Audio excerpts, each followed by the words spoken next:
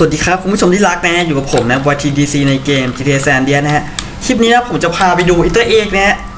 เป็น Easter Egg ที่คนนะเจอกันง่ายที่สุดแล้วคนพูดถึงกันมากที่สุดก็คือ Easter Egg ที่คนถ่ายรูปแล้วฆ่าตัวตายนะฮะคนถ่ายรูปที่ฆ่าตัวตาย โอเคฮะ Easter Egg นี้ฮะคือแบบมันมีมานมนานละหลายคนน่าจะทราบดีว่านะแถวๆนี้ฮะเขาบอกว่านะฮะมาแถวนี้จะเจอเรื่องหลอนคือจะมีคนนะไม่ว่าจะเป็นหญิงหรือชายนี่แหละฮะถือกล้องถ่ายรูปมาครับถ่ายรูปบริเวณนั้นเสร็จปุ๊บ อถ่ายรูปเสร็จปุ๊บคนคนนั้นนะก็เดินลงน้ำเพื่อฆ่าตัวตายอะก็ไม่งงว่าจะฆ่าตัวตายไปทำเพื่ออะไรนะไม่เข้าใจเหมือนกันนะเขาบอกว่ามันเป็นอิตาเอกว่ะเรื่องแปลกๆแทนอะไรอย่างงี้จะไปดูฮะเขาบอกว่าเป็นเรื่องที่มีคนพูดถึงกันเยอะที่สุดแล้วฮะแต่ก่อนนี้ที่แบบ GTA San Andreas นะยังไม่มีมอดนะอิตาเอกนี้ฮะฮิตมากนะเขาบอกว่า จนตอนนี้ยังไม่สามารถหาคำตอบได้คือแบบ คือคนที่ถ่ายรูปอะจะกระโดดลงไปฆ่าตัวตายเพื่ออะไรนะอืมเดี๋ยวไปดูดีกว่า มีคนก็ถามถึงมันเหมือนกันนะฮะ Easter Egg นี้ฮะ ใช่ครับ คืออันนี้ไม่ใช่ mod นะฮะ เป็น Easter Egg อยู่แล้วอะดูก็รู้แล้วฮะ ใช่ฮะแล้วเป็น Easter Egg ที่ดังมากๆนะเอาไว้ง่ายฮะ แล้วคนพูดถึงกันเยอะด้วย มันมันหาง่ายไง เจอง่ายด้วยแล้วแปลกดีด้วยนะฮะ ในตัวเกม original ในสมัยนั้นนะ ถือว่าเป็นเรื่องราวอีกเรื่องราวที่แปลกมากนะฮะ ก็ไม่เข้าใจว่าคนที่เขาถ่ายรูปเนี่ยจะฆ่าตัวตายทำไม เออ นะฮะ ผมก็ยังงงเหมือนกัน แต่เขาบอกว่ามันมีเหตุผลอยู่นะฮะที่ผมตามทฤษฎีนะเขาบอกว่ามันมีเหตุผลอยู่ฮะที่ฆ่าตัวตายเพราะอะไรเนี่ยน่าจะมีเหตุผลอยู่ฮะเดี๋ยวผมจะไปลองสรุปดูฮะว่าเหตุผลเนี่ยเหตุผลเนี่ยมันน่าเชื่อถือ มันมันแบบว่ามันเป็นเหตุผลที่แบบ วิทยาศาสตร์ มันเป็นเหตุผลที่ว่าดูน่าเชื่อถือ มันเป็นเหตุผลที่ดูไว้นี่หรือเปล่านะฮะดูแบบเหตุผลดูน่าเชื่อถือ หรือไม่ก็เป็นเหตุผลที่ดูแบบดูสมเหตุสมผลหรือเปล่านะฮะ ตั้งสมมติฐานเอาเองก็แล้วกันนะฮะ เอาง่าย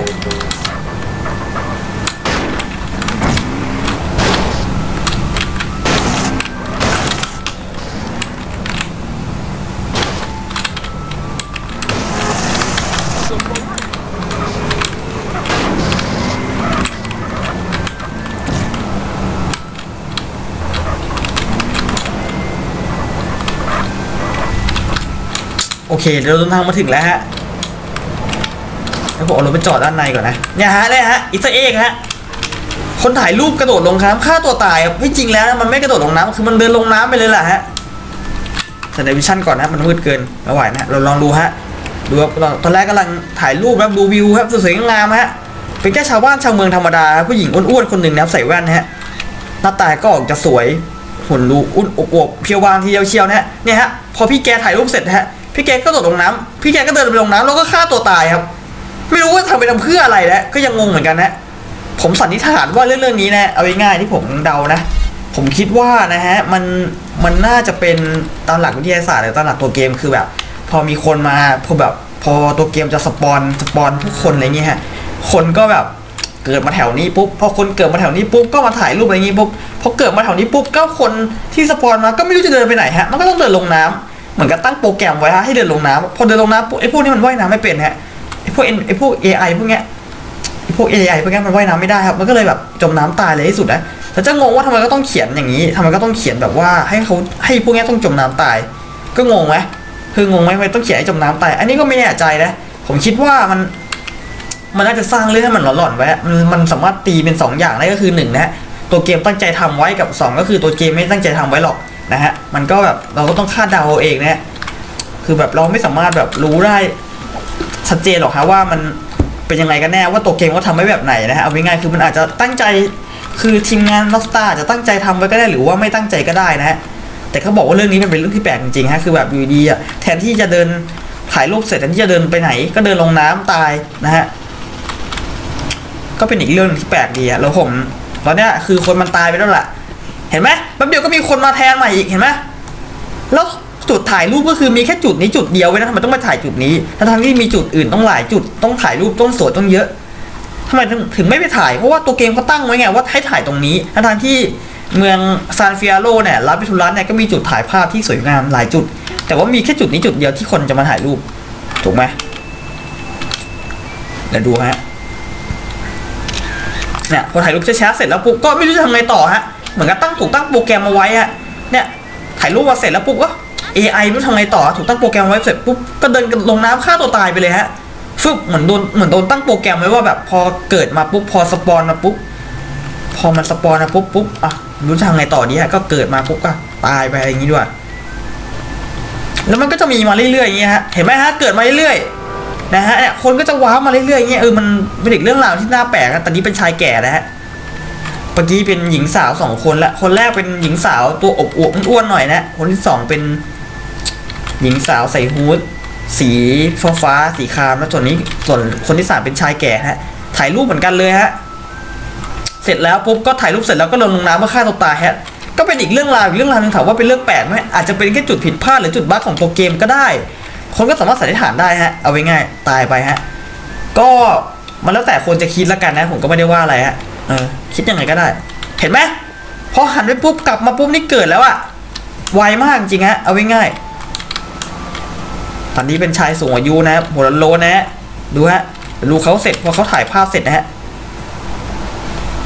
ไอคนพวกนี้มันสามารถนั่งถ่ายภาพได้อย่างเช่นเรานี่เราขอเสกกล้องถ่ายรูปนะ เราไม่สามารถนั่งถ่ายภาพได้นะ เอาง่ายๆเราลองดูฮะไม่สามารถนั่งถ่ายภาพได้นะ เห็นไหมเห็นไหมเห็นไหมพอเราถืออย่างอื่นปุ๊บเนี่ยฮะกล้องถ่ายรูปไม่สามารถนั่งแล้วถ่ายรูปได้นะ เอาง่ายๆเนี่ยเห็นไหมเขานั่งปุ๊บก็จะยืนปั๊บเห็นไหม เห็นไหมเห็นไหมเห็นไหมเนี่ยแต่เขาสามารถตั้งถ่ายรูปได้นะ เออ เสร็จแล้วปุ๊บก็เหมือนเดิมครับ เดินลงน้ำฆ่าตัวตายไปนะฮะ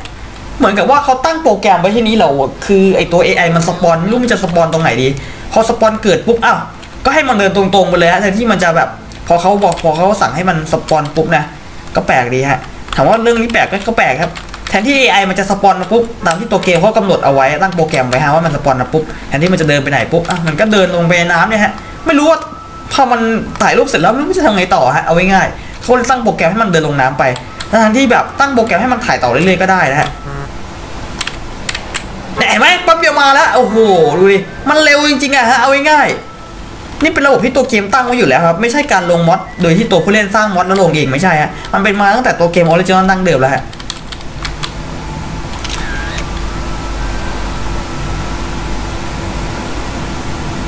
ชะก็ถ่ายรูปไปตามเรียบร้อยนะเราก็มาถ่ายรูปเหมือนกันนะฮะแต่จะแปลกที่ว่าคนถ่ายรูปพวกนี้มันเหมือนมันเป็นอาถรรพ์นะเหมือนกับมันเป็นตัวตายตัวแทนหรือเปล่าอะไม่แน่ใจนะคือพอถ่ายรูปเสร็จแล้วทำไมต้องตาย คือโดนลงน้ำตายอะไรอย่างงี้นะเขาแฟนคลับเอ้ไม่ใช่อะไรนะ ทางผู้เล่นอย่างเราแฟนคลับ GTA San Andreas ก็คิดเป็นนู่นไปนี่นะครับนู่นนี่นั่นไปเรื่อยนะเห็นไหมฮะเราก็จะลงน้ำไปฮะเนี่ยพอเดินลงน้ำไปปุ๊บก็มันมีแม่น้ำพอดีไม่จะไปไหนอะก็ตายไป ประมาณนี้แหละฮะ อืม แล้วมันเกิดไวได้พวกเนี้ยฮะ คือผมหันมุมกล้องกลับมาปุ๊บเฮ้ยเกิดแล้วอะดูนะผมดูนะ ผมลองทดสอบนะฮะผมลองหันมุมกล้องไปมุมนั้น มันจะไม่เกิดเลยนะ พอเราหันไปสักมุมมึงกลับมาปุ๊บมันเกิดแล้วเห็นไหมโอ้โหเร็วมากอะไวมากอะมองไม่ทันอะมันจะเกิดอะไรไวขนาดนั้นนะไม่รู้ต้องมีคนอีกกี่คนต้องมาสั่งเวยที่จุดจุดนี้นะคือมันเป็นจุดอีกจุดหนึ่งที่น่ากลัวมากๆอะขนลุกเลยฮะเอาไปง่ายนะฮะ นะฮะเอาอีกแล้วเอาอีกแล้วนะฮะเหมือนก็เป็นคำสาบอะเป็นอาถรรพ์อะไรสักอย่างนะคุณผู้ชมนะแล้วแต่คนจะคิดกันแล้วกันนะวิทยาส่วนตัวนะฮะเป็น Easter Egg อีก Easter Egg หนึ่งที่แปลกจริง ๆ อีกเรื่องหนึ่งนะฮะเอาง่ายๆแต่ว่าถ้าพูดตามหลักวิทยาศาสตร์พูดตามหลักตัวเกมจริงฮะไม่ตามหลักศิลปส่งศิลปศาสตร์หรืออะไรนะ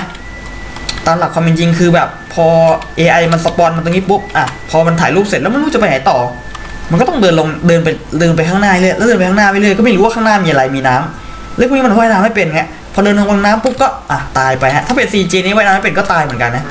ใช่ฮะแล้วมันเกิดไวมากอะฟุบเห็นไหมฟุบเนี่ยเห็นไหมมาแล้วว่าโอ้โหฟุบเนี่ยเห็นไหมเร็วมากจริงๆอะฟุบเห็นไหมฟุบไวจริงอะฮะ คือแบบมันมันจะมันจะไวจริงอะไรจริงขนาดนั้นนะฮะเห็นไหม แล้วก็เดินลงน้ำตายอะไม่รู้จะไปไหนดีฮะ คือแบบชาตินี้ไม่ต้องทำอะไรกินละฆ่าตัวตายดีกว่า ในการเดินลงน้ำตายไปฮะมันเหมือนกับมันเป็นวัฏจักรนะ พอเกิดมาปุ๊บมันต้องมีตายแล้วให้ดู ผมลองหันมุมกล้องอีกมุมหนึ่งฟุบฟุบเห็นไหมกลับมาแล้วโอ้โหแล้วปิคนก็จะเปลี่ยนไปเรื่อยๆบางครั้งก็เจอคนซ้ำกันบางครั้งก็เจอคนอื่นนะ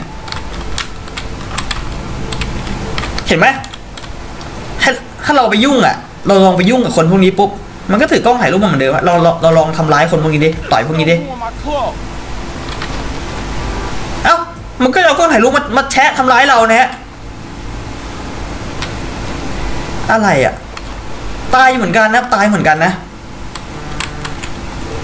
ใช่ฮะผมไม่เคยเห็นในพวกชาวเมืองมันถือกล้องถ่ายรูปนะส่วนใหญ่มันจะไม่ค่อยถืออะอาวุธอาวุธยังไม่ค่อยถือเลย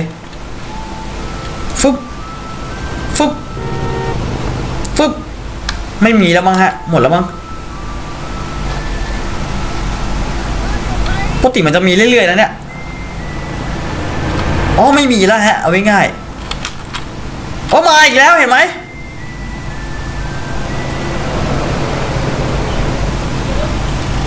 ตำไปหมัดหนึ่งดินั่นวิ่งหนีไปเลยฮะ เห็นไหมต่อให้ไม่ต้องเดินถ่ายรูปปุ๊บวิ่งหนียังไงก็ต้องวิ่งหนีไปตรงนี้ก็ตกตายอยู่ดีฮะ สมมุติว่าผมลองกระชากคนนะมันคล้ายๆกับ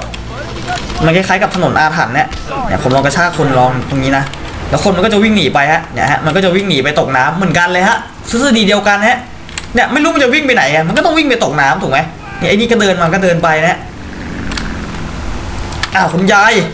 นั่นแหละวิ่งไปฮะวิกกี้วิ่งไปตกน้ำตายเหมือนกันฮะผมว่ามันเป็นหลักการเดียวกันทฤษฎีเดียวกันนะใช่ฮะผมว่าเข้าใจอยู่ฮะมีคนไม่เชื่อเรื่องพวกนี้เนี่ยเออก็ใช้วิทยาในการรับชมนะฮะ เนี่ยฮะมันมีมันมีคำอธิบายอยู่ฮะเนี่ยพอคนมันเกิดปุ๊บมันก็ไม่จะไปไหนฮะมันก็ต้องลงมาผมต่อให้ผมไม่ต้องต่อให้ผมไม่ต้องไอ้นี่นะ ไม่ต้องฆ่าคน โดยต่อให้ผมไม่ต้อง ไม่ต้องทำร้ายไอ้พวกคนที่มันถ่ายรูปนะอะถ่ายรูปกูหน่อยดิขอให้ผมไม่ไม่จำเป็นต้องถ่ายรูปคนนะขอให้ผมกระชากคนลงจากรถปุ๊บ คนม่งก็ต้องวิ่งมาตรงนี้อยู่ดีเหมือนมันตั้งโปรแกรมไว้ต้องวิ่งมาตรงนี้ปุ๊บ แล้วก็ต้องลงน้ำตาย เออเป็นอิตาเอกอีกเรื่องหนึ่งนะที่หลอนมากๆฮะในเกมเกมนี้นะในยุคนั้นน่ะ ทำได้ขนาดนี้ก็ถือว่าโคตรหลอนแล้ว อืมเดินอะช้าจริงเฮ้ยไปตายเร็วๆดิวิ่งอ้าวเฮ้ยไอดีมันไม่ไม่ไม่คิดจะไม่คิดจะจะตายเลยเหรอฮะฟึบไม่ตายใช่ไหมหนีตกไปเหมือนเดิมฮะ เออ ตามระดับนะฮะโอเค ก็คลิปนี้ก็มาพิสูจน์ไอเต้แค่นี้แหละฮะคือแบบมันมี